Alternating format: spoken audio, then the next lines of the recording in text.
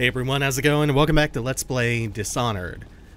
Last time, after successfully overthrowing the former Lord Regent,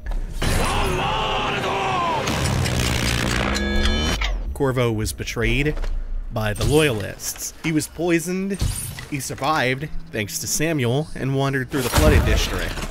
We finally found a sewer access route back to the Hound Pits pub, but we have to go find Slackjaw to get a key to go further.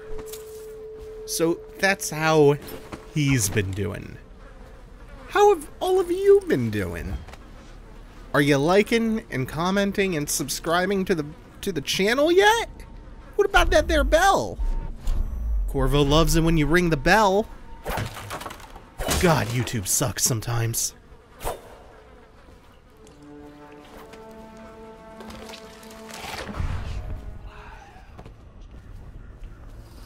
Like, the calls to action are one thing, but now there's a bell, because subscribing alone for some reason doesn't work like it's supposed to.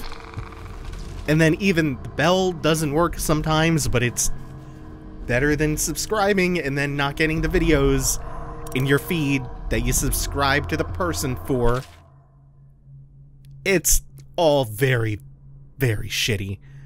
Uh, and then there are the Nazis yeah, they're back. And YouTube loves them. And that's great. Love that. That's wonderful. Fuck this whole platform. Anyway, we're playing Dishonored. That's the video game uh, that we're playing today. I am not exactly sure if this works, but once we come out of our... Oh no! So you can evade them but that doesn't work so well at killing them. Uh, we do have a whole satchel full of incendiary bolts left over, in case we ever get cornered with the river krusts. But for now, we're swimming to safety. We have to come up for air, though. I'm not exactly sure what I just saw above that grate. Nothing that I could possess. I thought I could. Thought I may have seen a rat or something. That would have been an interesting... I'm gonna... Mm, can't be a sequence break because if there's a rat there, it's very intentionally placed. But I'm pretty sure there's not. Not yet, anyway. There are a couple of little critters, uh, be they rats or hagfish, you can possess for easier movement around the level especially this part of the level, but we've chosen to go this route because it allows us to see the most stuff. And we're already full up on razor wire. or Spring razors, rather. We should be coming up upon them soon. Granny Rags is down there. I'm going to boil off the nasty fat and sinew and carve a pretty song on your bones. Hey! Someone kill this crazy witch! I could make you rich! Quiet now. Granny needs to concentrate. Don't kill me. Granny Rag, stop. Stop what you're doing. Can't we at least talk about it? My knife's gotta be nice and sharp to cut into your skeleton, Slackjaw. Nice and sharp. So she lives in the sewer now and captured Slackjaw, who has our key. Are you ready to help get Slackjaw's bones? Granny has some birthday gifts for you. I've been saving them up in case you ever came back to me. Yeah, let's help her. Aren't you a gentleman helping Granny Rags with her stew? We'll eat well tonight, sweetheart. First thing, you'll have to put him to the knife. Don't want him crawling out of the pot now.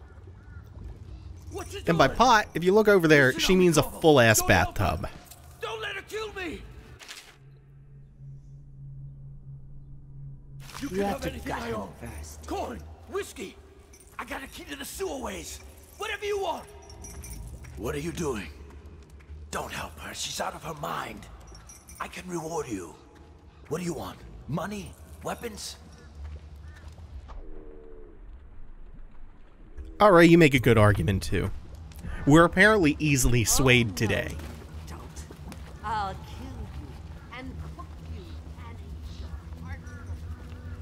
I guess that bathtub is big enough for two. Oh, hi. So first we need her curio. Or her cameo, rather. Uh, so this is the key to destroying her. But she has summoned a plague of rats, and we need to get out this window. We're gonna bait them around the corner, You're going to save him?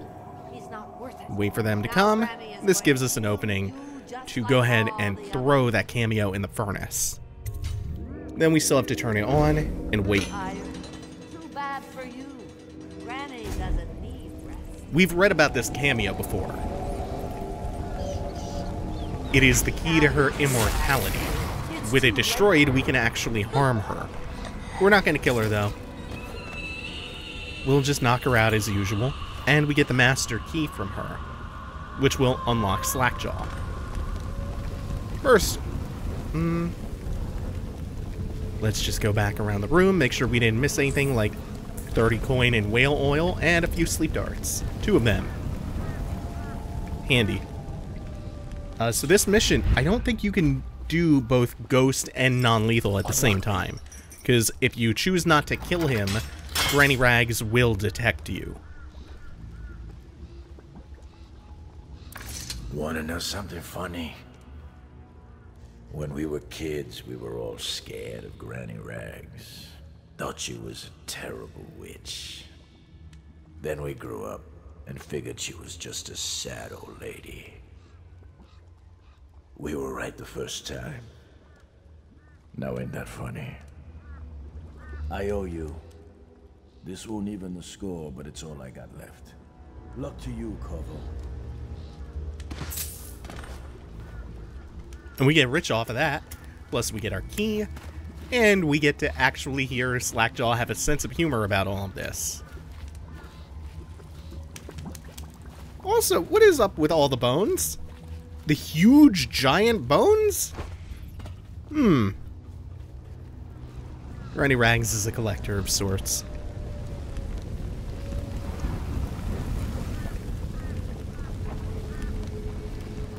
Now, before we break these boards and follow the stream of sewage downstream back to where we came from, there's an outsider shrine over here, which means a rune and an interaction with the outsider. Who's surely just gonna taunt us Find your way again. into such interesting places, Corvo. At the eye of the storm, raging between Granny Rags and this man who has lived his whole life with a cleaver in one hand and a bottle in the other. Crawling out of those flooded ruins, winding your way back to the pub where you last saw Emily. Where is she now? How does it feel now, knowing your allies betrayed you? Strange how there's always a little more innocence left to lose. And Dowd, the man who killed the Empress. You had him in the palm of your hand, and you let him walk away? You fascinate me.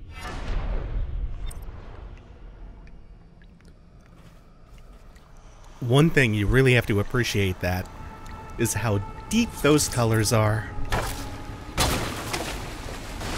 Anyway, into the sewage we go! We have just been submerged in sewage so many times today. Not to mention all of the pestilence in the flooded district. And how lucky are we that this dumps us right back where we need to be? Except now, we have that master key.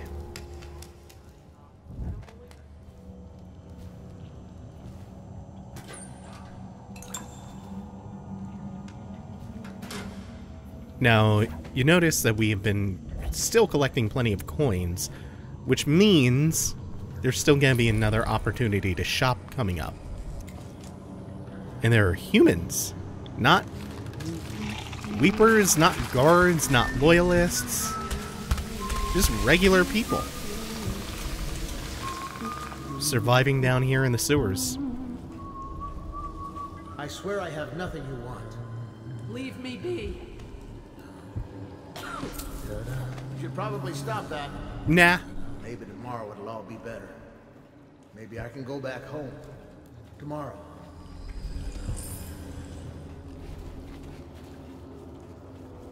If the city's dead, we'll make it three This more whole months. place has gone to the hounds. You have to feel for these people driven into the sewers, crawling all over. destitute, Have you seen my husband? His name's Jake. missing their loved ones, apparently, having to contend with the voraciousness of the rats and the plague. And then some asshole comes in, pickpocketing them and eating all of their rat skewers and their apricots.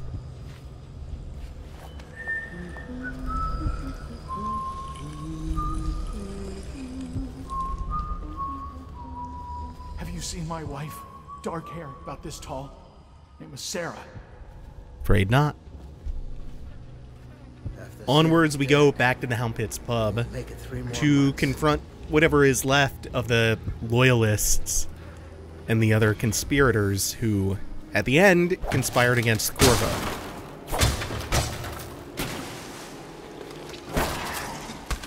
Shit. We can get past this, no problem. We didn't catch on. Is that not the way? Am I misremembering? I'm gonna need to heal up in a second. Because they're hitting me even underwater. Okay, I need to get up. Why can't I? Oh, it's. Nope. It just got real janky. I was under a great swamp forward, and I still couldn't pop up onto uh, the other side of the scaffolding. Unfortunate. We're gonna have to handle that better this time. Starting with uh, setting these on fire.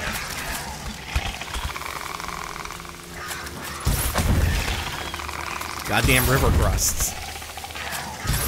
They're always so problematic. Nope, there's more too. And is it gonna give me problems getting up? Hmm. Only a little bit on that ledge. Oh, and you're still up. Wait, I see stuff.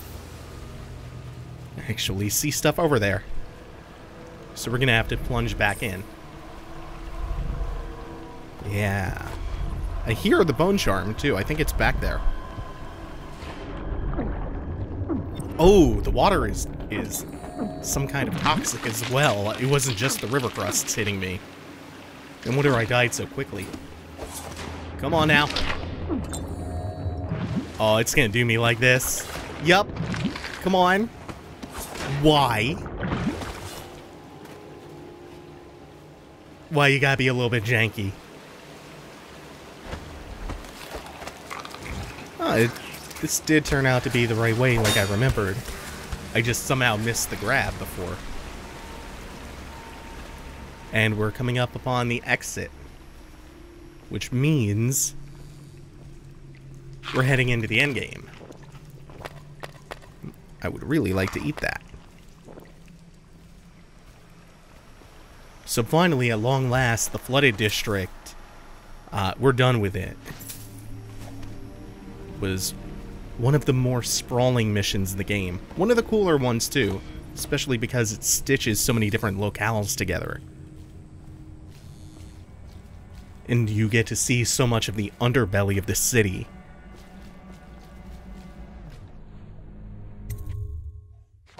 Creates a nice contrast, especially coming off of the last few missions within the city, where you get to see uh, some of them living what you would call the high life. The Boyles and Please, Sokolov No. Oh, it's you, and the Lord Regent. Thank the stars. We all thought you'd been killed. Except for Samuel. He seemed sure you'd survived. I saw him on the river shortly before the killing began. He was smart enough not to come ashore. But I'll bet he's still out there. Looking for you, is my guess. At first, Pendleton said it was time for our bonus. Havelock stood behind them, and at the signal, he shot them each in the back of the head. Just like the target drills he used to. Lydia barely had time to scream. I would be dead too. Except Wallace told me I wouldn't be getting anything. Pendleton kept apologizing, saying that no one could ever know about the things they'd done. Martin was drinking and seemed sad. The Admiral was about to shoot Callista. Then he mumbled something about owing her uncle, Captain Curnow, a debt. They said it was time for Sokolov, and went off to his cage. I don't know what happened after that. Emily was there when the killing started. Poor child. I hope she hit her eyes. The Admiral said that Martin was right. I guess they talked about it. And they started to worry they'd get executed for all that they'd done, going after the Lord Regent and his allies. I suppose it's why they've poisoned you too. I thought Lydia would squeal on me at the end. She just told Havelock to screw himself. And died. Lydia's the only one who ever showed me any kindness.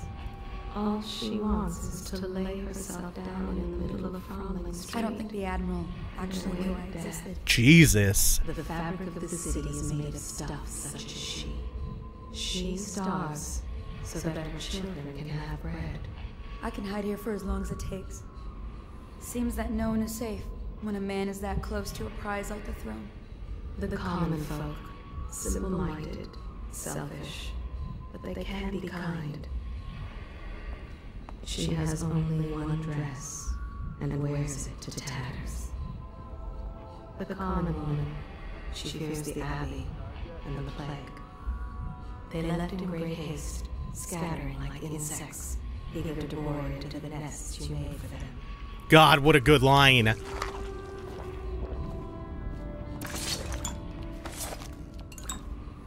What a perfect line. Now there are a few keys by the door. And we can use that to move on since apparently so much of this area has now been barricaded. Make it to tonight. Well, you look at this mess, relax. One of the officers said he was dead. Poison thrown in the river. If you ask me, he's long gone. Mask in the river, left. That's what a rational person. Not this guy. You have to understand. I hear they had to hide a Kaldwin girl from him the whole time they were working with him. I heard they locked him in a cage and only let him out at night. Criminal mind, huh? So what's he doing now? Waiting. He's probably watching us right now. With that crazy mask on. Creeping closer and closer, ever closer, until... Cut it out. What's so impressive about Corvo anyway? Who's he got up against? A couple of high overseers, a couple of noblemen? He could never stand up to men with our training. Well, now I do hope he shows up. I want to see you run crying for That's enough out of them. We are gonna beeline through the pub because I'm pretty sure it's well inhabited. Our men are still trying to penetrate the workshop. Those. We should be okay. Piero Joplin's inside. So it's an, an, bleh, an important piece of information. The workshop is barricaded, but Piero is still alive. One of the few who survived. If so, arrest him. But I don't. Of all this. Careful. The place may be booby trapped, and I want him alive. We are gonna hide him somewhere a little bit less conspicuous. Full cutlass and a small bore pistol. Looks like Corvo ran amok before he left. Turn this building right out. And it goes without saying, this air sealed. Stilt walkers at all points. And stay vigilant. Corvo's the most dangerous man in the Empire now, and he has nowhere else to go. Never thought he'd bother us again. I guess he holds a grudge. So they're assuming he survived. What the? Where did you come from? Ooh, this is not good. Ooh, I hope that didn't alert everybody.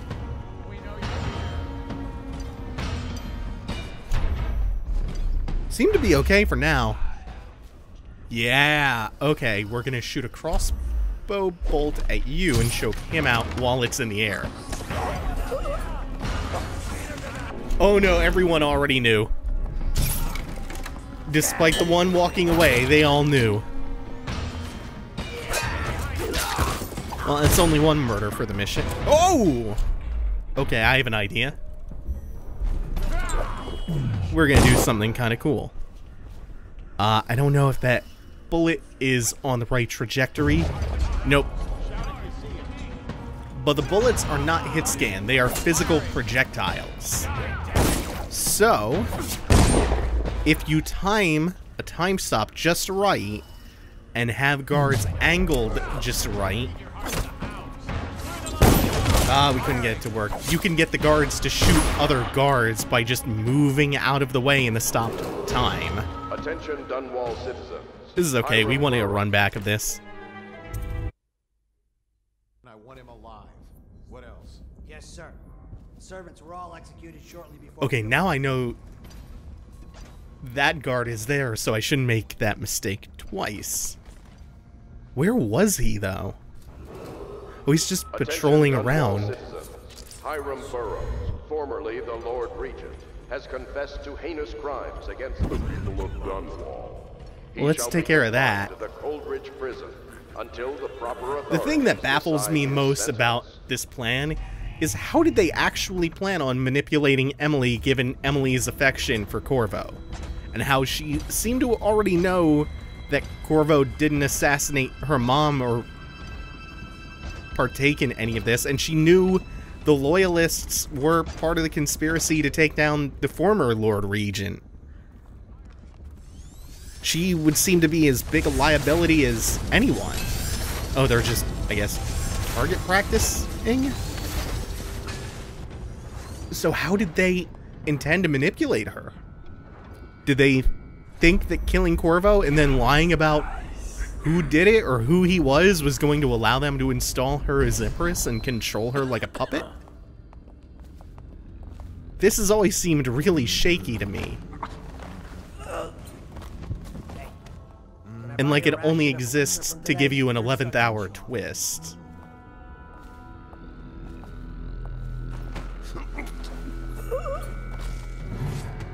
A twist which, by the way, because you have the heart, you have all the foreshadowing in the world to the point where it's not even really foreshadowing, it's just obvious. So, uh, we've tracked the conspiracy to the Hound Pits pub, searched the premises for the Natural Philosophers Piero and Anton, uh, Anton Sokolov. Dewey must secure all materials related to the enhanced arc pylon they've been constructing. Question them thoroughly, and once you're certain you have everything you know of the pylon, execute them both. Bring the pylon to me along with the papers and recordings. They may be two of the greatest minds of our age, but they're also traitors who conspired with Corvo to bring down this empire. I'm keeping Empress Emily Kaldwin with me at the lighthouse on King Sparrow Island until we're certain that Corvo and his fellow conspirators have been properly dealt with. Lord Regent Havelock. This seems like a grand lie to pull off. Especially with so very many loose ends.